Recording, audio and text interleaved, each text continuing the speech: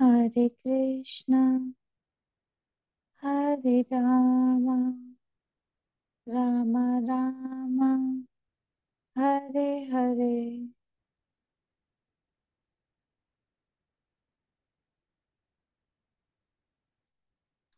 श्रीमद् भागवतम पूज्य गुरु जी स्वामी तेजानंदा जी। परम पूज्य गुरुदेव स्वामी चिन्मयानंदा जी। मेरी प्रिय माँ, और हम सबके हृदय में विराजे। भगवान श्री कृष्ण को कोटि कोटि प्रणाम।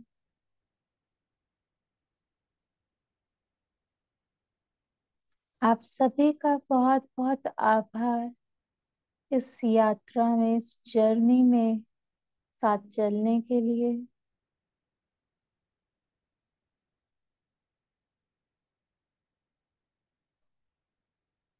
धन्यवाद बसंत पंचमी की आप सभी को बहुत हार्दिक शुभकामनाएँ। आज बसंत पंचमी का हम इसे कह सकते हैं ज्ञान दिवस।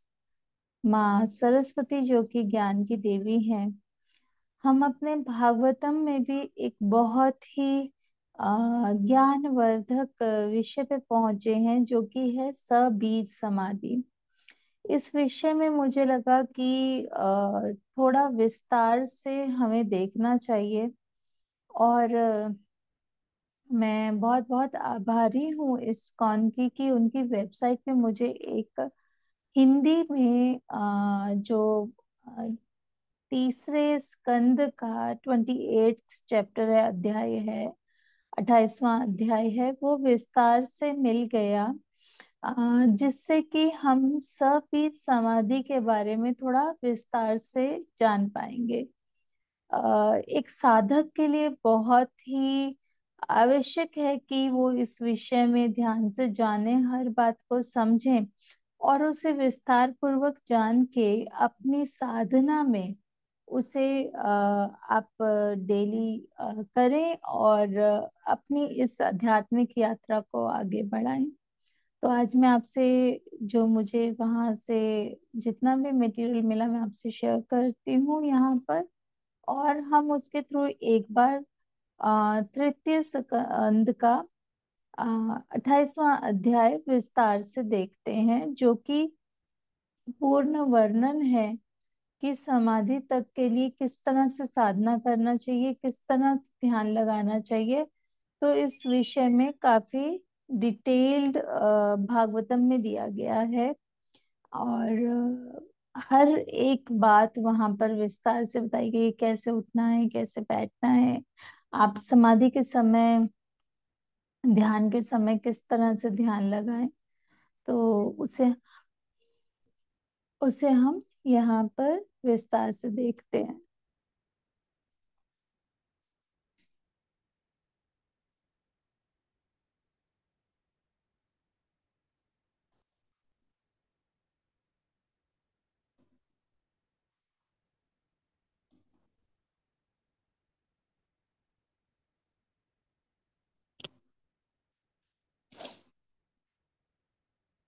यहाँ पर जैसा कि हम स्टडी कर रहे थे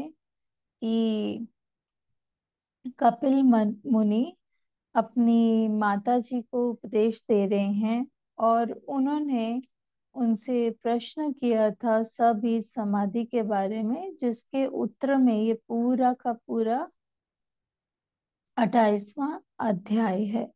तो जहाँ पर श्री भगवान उवाच लिखा है, वो कपिल मुनि के लिए बताया गया। तो यहाँ पे श्री भगवान उवाच, योगस्य लक्षणम वक्षे सबीजस्य नृपात्मजे। मनो ये नैव विधिना प्रसन्नम याति सत्पथम। श्री भगवान उवाच, अर्थात भगवान ने कहा, योगस्य योग पद्धति का लक्षणम वर्णन है। वक्षे का अर्थ होता है, कहूँगा सबीज से प्रामाणिक, जो सबीज है, प्रामाणिक। नृप आत्मजे मतलब हे राजपुत्री, मनो ये ने, मन से ही जिसने एव निश्चय ही, विधिना अभ्यास से प्रसन्नम प्रसन्न याति प्राप्त करता है सतपथम परम सत्य मार्ग को। तो इसका पूर्ण अर्थ हुआ, भगवान कहते हैं यहाँ पर, हे माता हे राजपुत्री, अब मैं आपको योग विधि बताऊँगा, जिसका उद्देश्य है मन को केंद्रित करना है। इस विधि का अभ्यास करने से मनुष्य प्रसन्न रहकर परम सत्य के मार्ग की ओर अग्रसर होता है। इस अध्याय में भगवान कपिल देव द्वारा बताई गई योग विधि प्रामाणिक एवं आदर्श है, अतः इन आदेशों का अत्यंत सावधानी के साथ पालन करना चाहिए। सबसे पहले भगवान कहते हैं कि योगाभ्यास से मनुष्य परम सत्य अर्थात परम पुरुषोत्तम भगवान को समझने की दिशा में प्रगति कर सकता है। पिछले अध्याय में यह स्पष्ट बताया गया है कि योग का अभिष्ट कोई आश्चर्यजनक योग शक्ति प्राप्त करना नहीं है। मनुष्य को ऐसी योग शक्ति के प्रति आकृष्ट नहीं होना चाहिए। अति अपितु भगवान को समझने के मार्ग का कर्मशय है। साक्षात्कार प्राप्त करना चाहिए। इसकी पुष्टि भगवत गीता में भी हुई है, जिसमें छठे अध्याय के अंतिम श्लोक में कहा गया कि सबसे बड़ा योगी वह है जो अपने अंतकरण को निरंतर कृष्ण के बारे में ही अपने अंतकरण में निरंतर कृष्ण के बारे में ही सोचता रहता है। या जो कृष्ण भावना से भावित है, यह उल्लेख हुआ है कि योग विधि का पालन करने से मनुष्य प्रफुल्लित रह सकता है। भगवान कपिल, जो योग के महान अधिकारी हैं, यहाँ पर योग पद्धति की व्याख्या प्रस्तुत करते हैं। जिसे अष्टांग योग कहते हैं, जिसमें आठ विभिन्न अभ्यास सम्मिलित हैं। ये हैं यम, नियम, आसन, प्राणायाम, प्रत्याहार, धारणा, ध्यान तथा समाधि। अभ्यास की इन समस्त अवस्थाओं से मनुष्य को भगवान विष्णु का साक्षात्कार करना होता है, जो समस्त योग का लक्ष्य है। ऐसी तथा कथित योग बत्तियाँ हैं जिनमें मन को शून्य या निराकार पर केंद्रित किया जाना होता है, किंतु प्रामाणिक योग पद्धति में इनको मान्यता प्राप्त नहीं है, जैसा कि कपिल देव बताते हैं। यहाँ तक कि पतंजलि बताते हैं कि समस्त योग का लक्ष्य विष्णु है। अतः अष्टांग योग वैष्णव विधि का एक अंग है। किंतु क्योंकि इसका चरम लक्ष्य विष्णु का साक्षात्कार है, योग की सफलता योग शक्ति प्राप्त करने में नहीं है, जिसकी भर्सना पिछले अध्याय में की गई है। अभी तो समस्त उत्पादियों एवं स्वाभाविक स्थिति की परिस्थिति से मुक्त होना है। योगाभ्यास की यही अनंतिम उपलब्धि है। आगे वो कहते हैं, धर्म आचरणम, धर्म, सब धर्म आचरणम शक्तिया विधर्मार्च निर्वर्तनम। दैव दैव दैवात लब्धेन संतोष आत्म वित्त चरण अर्चनम। तो यहाँ पर सब धर्म आचरणम कहते हैं, अपने कर्तव्यों का पालन, शक्तिया का अर्थ हुआ अपनी शक्ति से विधर्मार्च का उसमें होता है विधर्मार्थ प्लस च।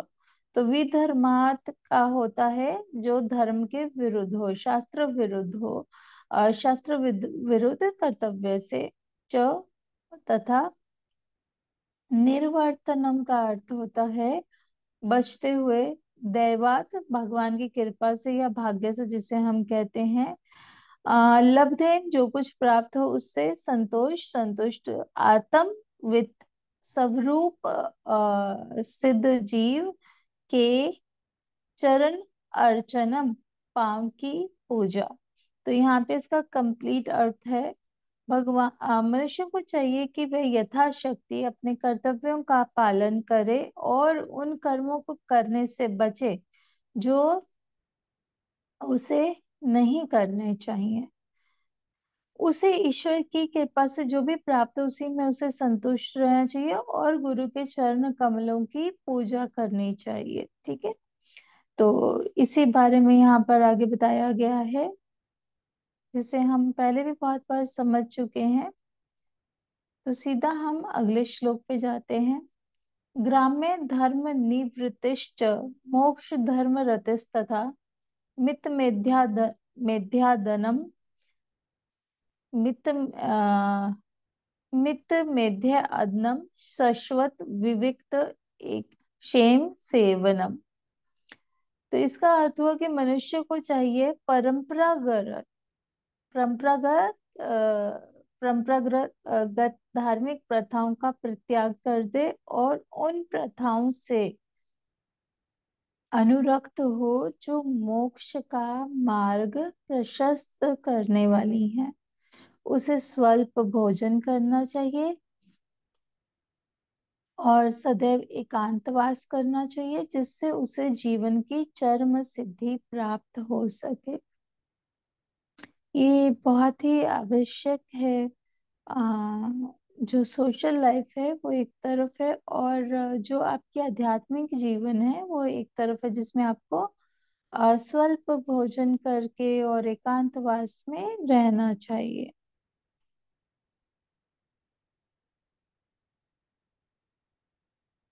यहाँ पर उन्होंने बताया भी है मित जिसका अर्थ यह होता है कि मनुष्य को बहुत कम खाना खाना चाहिए।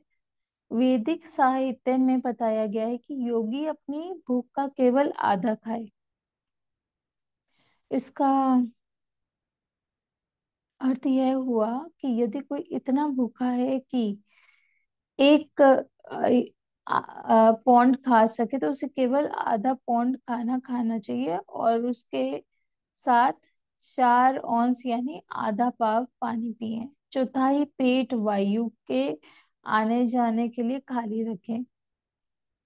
इस प्रकार से यदि भोजन किया जाए तो न तो अपच होगा, न ही कोई रोग। योगी को श्रीमद् भागवत तथा अन्य शास्त्रों में बताई गई विधि के अनुसार ही भोजन ग्रहण करना चाहिए। और इसके साथ ही योगी को एकांत स्थान में रहना चाहिए ताकि उसकी योगाभ्यास में किसी भी प्रकार की बाधा न पहुँचे।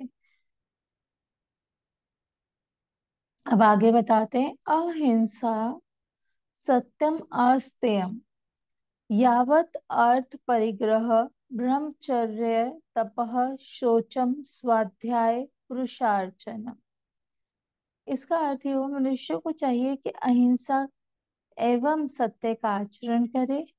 चोरी से बचे और अपने निर्वाह के लिए जितना आवश्यक हो, उतना ही संग्रह करे।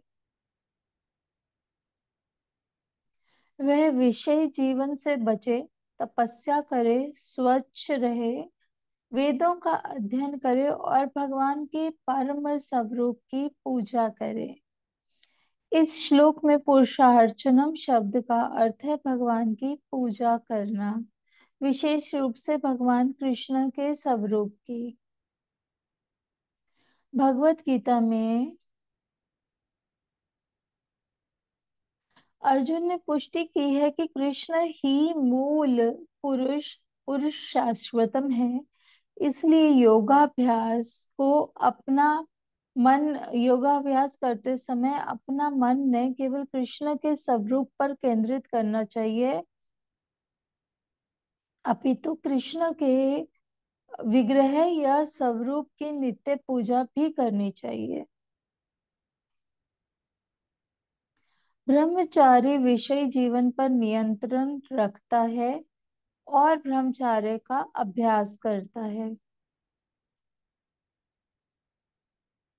अनियंत्रित विषयी जीवन बिताते हुए मनुष्य योग का अभ्यास नहीं कर सकता। यह तो धूर्तता है। तथा कथित योगी यह विज्ञापित करते हैं कि वे इच्छा अनुसार भोग करने के साथ ही साथ योगी भी बने रह सकते हैं, किंतु यह सर्वथा अप्रामाणिक है। यह स्पष्ट बताया गया है कि मनुष्य को ब्रह्मचर्य पालन करना चाहिए। ब्रह्मचर्यम का अर्थ है मनुष्य ब्रह्म के साथ संबंध में यह कृष्ण भक्ति में ही जीवन बिताता है। लोग विषयी जीवन में अनुरक्त रहते हैं, वे उन विधानों का पालन नहीं करते जो उन्हें कृष्ण भावना अमृत की ओर अग्रसर कर सके। विषय जीवन तो विवाहितों तक ही सीमित रहना चाहिए, जो व्यक्ति विवाह के बाद सीमित विषय जीवन बिताता है, वह भी ब्रह्मचारी कहलाता है। योगी के लिए अस्त्यम शब्द भी महत्वपूर्ण है। इसका अर्थ है चोरी न करना। व्यापक अर्थ में प्रत्येक व्यक्ति जो आवश्यकता से अधिक संग्रह करता है, वह चोर है। आध्यात्मिक साम्यवाद के अनुसार कोई अपनी व्यक्तिगत आवश्यकता से अधिक नहीं रख सकता। यही प्रकृति का नियम है। जो व्यक्ति आवश्यकता से अधिक धन या संपत्ति एकत्र करता है, वह चोर है। और जो यज्ञ तथा श्री भगवान की पूजा में व्यय किए बिना धन का केवल संग्रह करता जाता है, वह तो और भी बड़ा चोर है। उसके बाद शब्द आया स्वाध्याय, जिसका अर्थ है कि प्रामाणिक वैदिक शास्त्रों का अध्ययन। यदि कोई कृष्ण का भक्त नहीं होता और योग पत्ति का अभ्यास करता है तो उसे चाहिए कि ज्ञान के लिए आदर्श वैदिक साहित्य पढ़े। केवल योग संपन्न करना पर्याप्त नहीं है। परम भक्त तथा गौड़े वैष्णव संप्रदाय के आचार्य नरोत्तम दास ठाकुर कहते हैं कि सारे आध्यात्मिक कार्यकलाप तीन साधनों से जाने जाते हैं। साधु पुरुष आदर्श शास्त्र और गुरु से।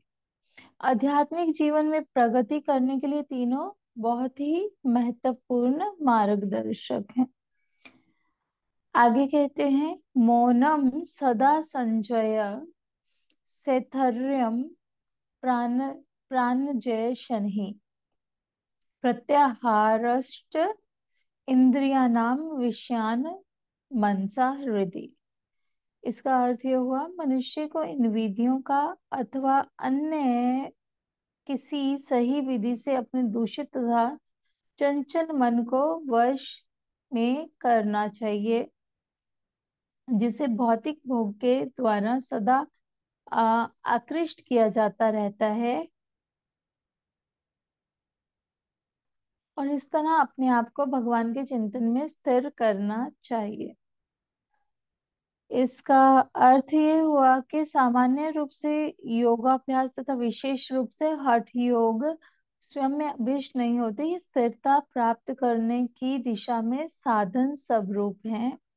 सर्वप्रथम मनुष्य को ठीक से आसन लगाने में सक्षम होना चाहिए, तभी योगाभ्यास के लिए मन तथा ध्यान स्थिर हो सकेंगे।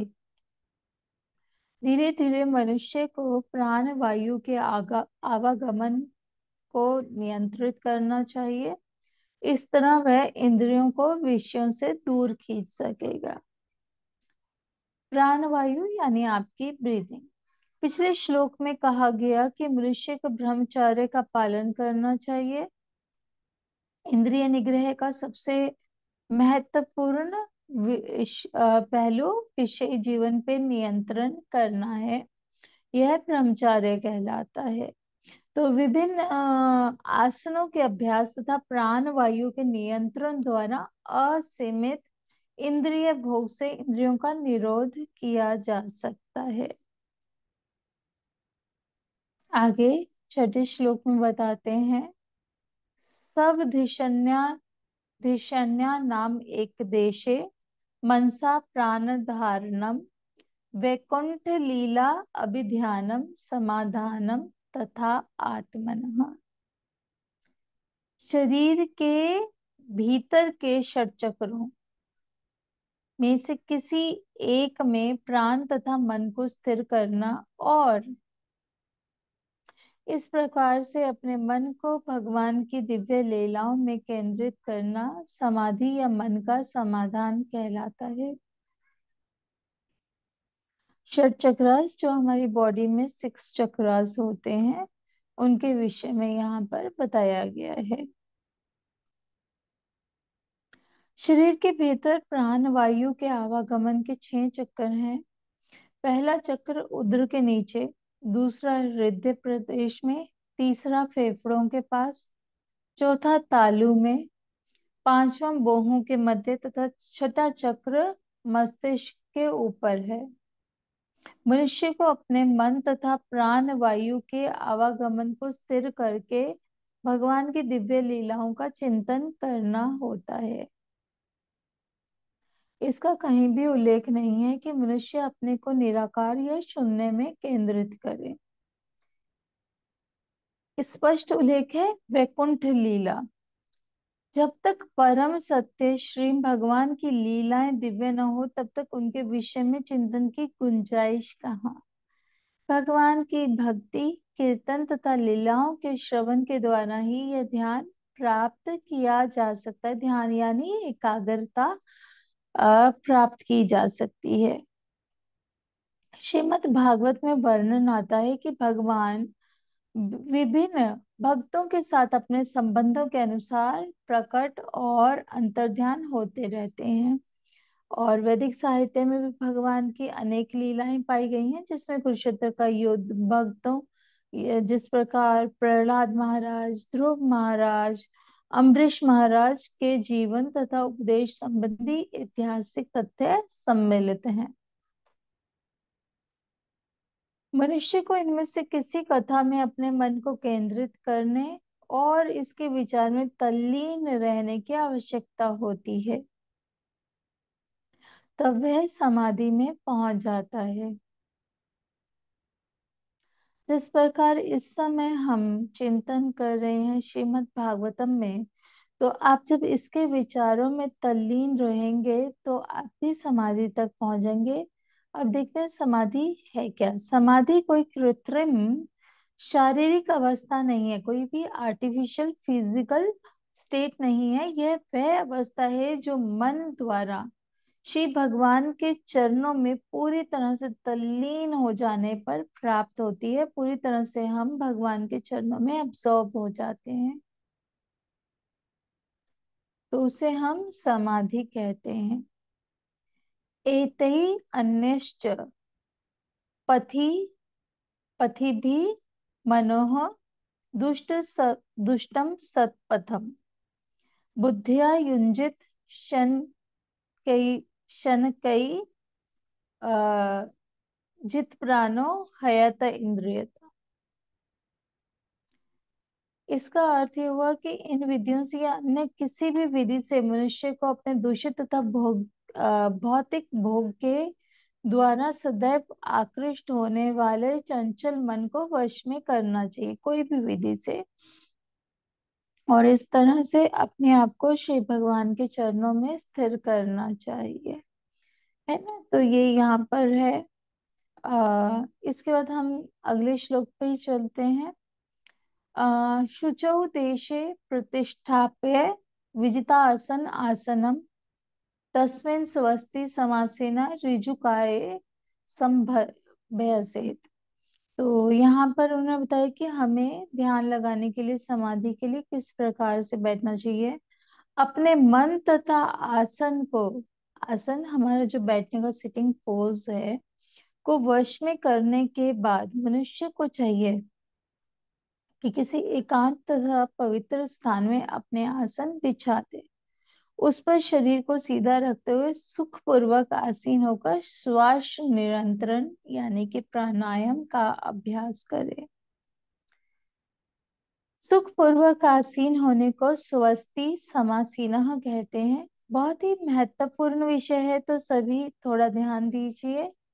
सभी लोगों का प्रश्न रहता है कि हम समाधि कैसे लगाएँ? तो यहाँ पे बहुत ही विस्तार से एक एक स्टेप बताया जा रहा है।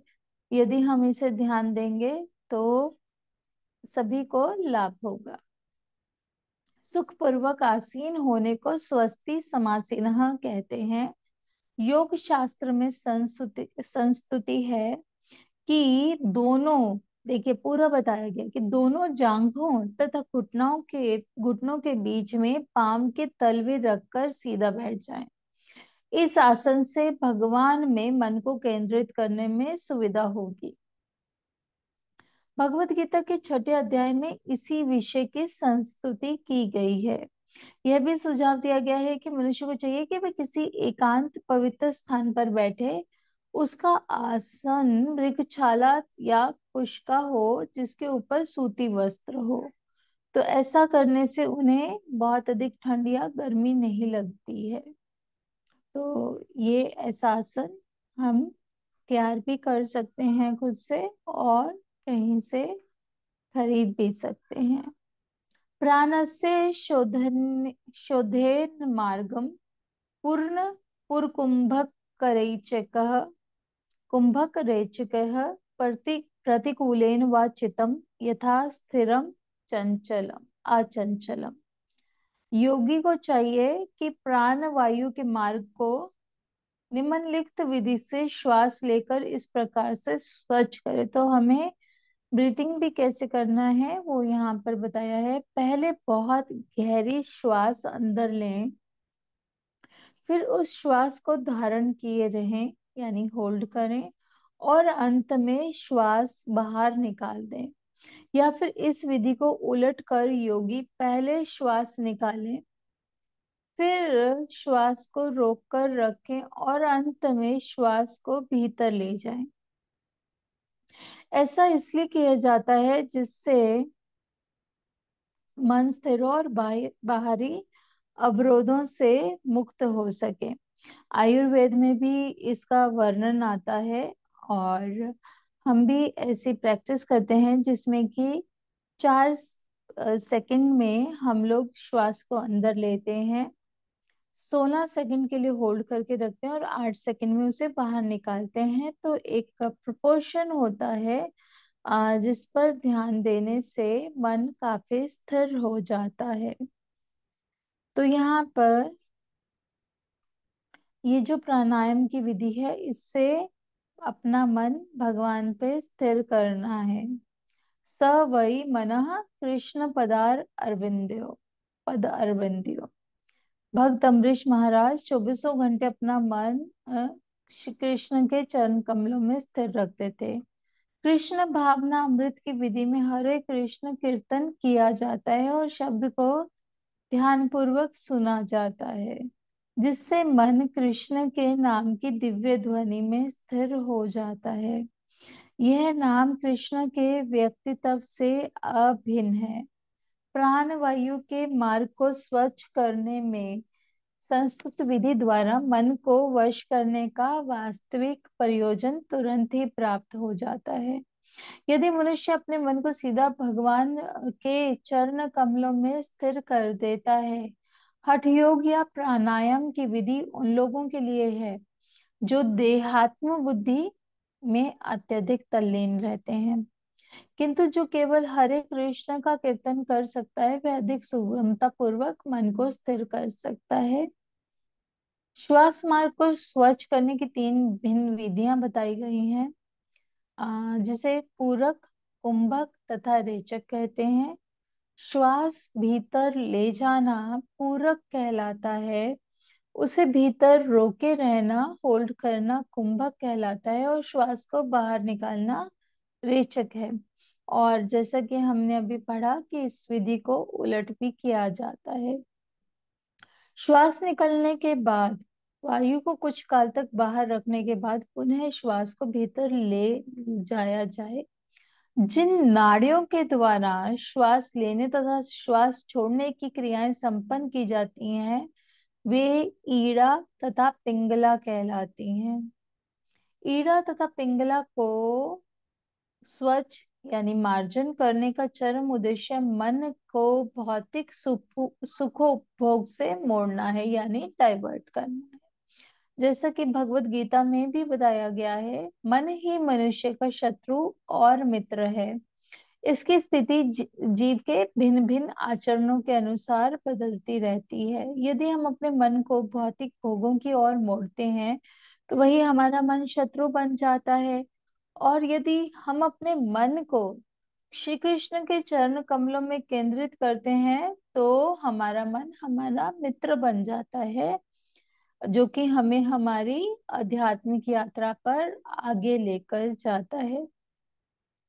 चाहे पूरक, कुंभक या रेचक की योग पद्धति हो या कृष्ण के नाम की शब्द की, या कृष्ण के स्वरूप पर अपने मन को स्थिर करना, इनमें से एक ही उद्देश्य की प्राप्ति होती है और वो है ईश्वर प्राप्ति। भगवत गीता में भी कहा गया है कि मनुष्य को चाहिए कि प्राणायाम करे। अभ्यास योग, युक्तेन। इन नियंत्रण विधियों से मन बाहरी विचारों की ओर नहीं जाएगा। चेतसा न अन्य गामिना। इस प्रकार वह निरंतर अपने मन को भगवान में स्थिर करके उन्हें प्राप्त कर सकता है याति। इस युग में आसन तथा श्वास नियंत्रण की योग पद्धति का अभ्यास कर सकना मनुष्य के लिए थोड़ा मुश्किल है। अतः भगवान चैतन्य ने संस्तुति की है कीर्तनीय सदै हरि। कि मनुष्य को चाहिए सदा ही भगवान श्री कृष्ण के पवित्र नाम का जाप करे। कृष्ण नाम तथा परम पुरुष कृष्ण अभिन्न है।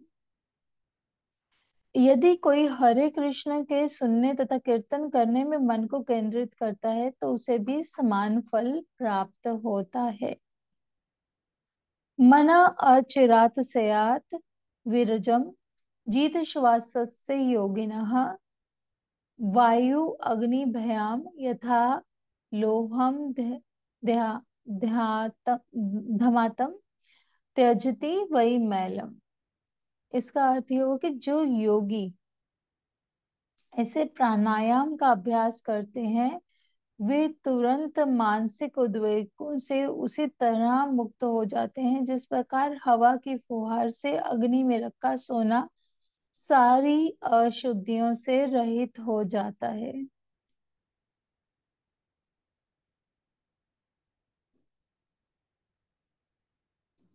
मन शुद्धि की इस विधि की संस्तुति भगवान चैतन्य ने भी की है। उनका कहना है कि मनुष्य को हरे कृष्ण कीर्तन करना चाहिए और आगे कहते हैं, परम विजय दे कि श्री कृष्ण कीर्तन की जय हो। तो यहाँ पर जैसे ही भगवान का कीर्तन चालू होता है तो हमारे मन में जितना भी जमा हुआ मैल है, वो अपने आप से शुद्ध हो जाता है। चेतो दर्पण मार्जनम। भगवान कृष्ण के पवित्र नाम के कीर्तन से मनुष्य के मन में एकत्र सारा मैल साफ़ हो जाता है। जैसे कि अग्नि में रखा धो अग्नि में रखकर धोकने से धोकने से सोना शुद्ध हो जाता है। आगे इस विषय में और देखते हैं। प्राणायाम दहे तोषान धारण भी च प्रत्याहारेन संसर्गान ध्यान अनिश्वरन गुना प्राणायाम विधि के अभ्यास से क्या बताते हैं कि मनुष्य अपने शारीरिक दोषों को समूल नष्ट कर सकता है? बहुत ज़्यादा लोग आजकल एंजाइटी से सफ़र करते हैं, वहाँ पर प्राणायाम बहुत हेल्प कर सकता है। और अपने मन को एकाग्र करके वह सारे पाप कर्मों से मुक्त हो सकता है। इंद्रियों को वश में करने से मनुष्य भौतिक संसर्ग से अपने को मुक्त कर सकता है और भगवान का ध्यान करने से वह भौतिक आसक्ति के तीन गुणों से मुक्त हो सकता है। यहाँ पर इसे थोड़ा सा विस्तार में देखते हैं। आयुर्विज्ञान के अनुसार, कफ, पित्त तथा वायु शरीर की दैहिक अवस्था को बनाए रखते हैं। आधुनिक औषधि विज्ञान इस दैहिक अवस्था को वैध नहीं मानता, किंतु प्राचीन आयुर्वेदिक विधि से जो उपचार किया जाता है, वह इन्हीं तीन तत्वों पर निर्भर है। जिसका उल्लेख भागवत में कई स्थानों पर शरीर की मूल दशाओं के रूप में पाया जाता है। यहाँ पर संस्तुति की गई है कि प्राणायाम विधि के अभ्यास से मनुष्य प्रमुख दैहिक तत्वों से उत्पन्न कलमश से मुक्त हो सकता है। इस प्रकार मन को एकाग्र करके पाप कर्मों से छूट सकता है और इंद्रियों का निग्रह कर लेने पर मनुष्य भौतिक संगति से अपने को मुक्त कर सकता है। अंततः मनुष्य को भगवान का चिंतन करना होता है जिससे वह दिव्य स्थिति तक ऊपर उठ सके जहाँ उसे प्रकृति के तीनों गुणों और अधिक नहीं सताते। भगवत गीता में भी इस बात की पुष्टि की गई है कि जो विशुद्ध भक्ति करता है वह भग आ, जो प्रकृति के तीनों गुणों से पार कर जाता है और तुरंत ही उसे ब्रह्म का साक्षात्कार होता है। सगुणान समाति तैतान ब्रह्म भुआय कल्पते। योग भक्ति की प्रत्येक क्रिया के लिए भक्ति योग में सदृश क्रिया पाई गई है। किंतु इस युग के लिए भक्ति योग अत्यधिक सुगम है। भगवान चैतन्य जो कुछ सूत्रपात किया वह नवीन व्याख्या नहीं है। भक्ति योग एक संभाव्य विधि है। जिसका शुभारंभ कीर्तन तथा श्रवण से होता है। भक्ति योग तथा अन्य योगों का अंतिम लक्ष्य एक ही है, श्री भगवान। किंतु इनमें से एक व्यवहारिक है और दूसरा कठिन। मन की एकाग्रता तथा इंद्रियों के संयम द्वारा मनुष्य को अपने देहिक अवस्था शुद्ध करनी होती है, तभी वह भगवान पर अपना चित स्थिर कर सकता है और यही चित्त का स्थिर होना समाधि कहलाता है। यदा मनः स्वम विरजम योगेन सुसमाहितम काष्ठाम भागवतो ध्याये सब नासाग्रा अवलोकन। ये प्राणायाम के बाद आगे क्या करना चाहिए वो हमें बताया है। इसे आगे हम कल देखेंगे विस्तार से। बस एक बार इसका भावार्थ इसका अर्थ देख लेते हैं। जब इस योगाभ्यास से मन पूर्णतः शुद्ध हो जाए तो मनुष्य को चाहिए कि अधकुली आँखों से नाक के अग्रभाग में ध्यान को केंद्रित करे और भगवान के स्वरूप को देखे।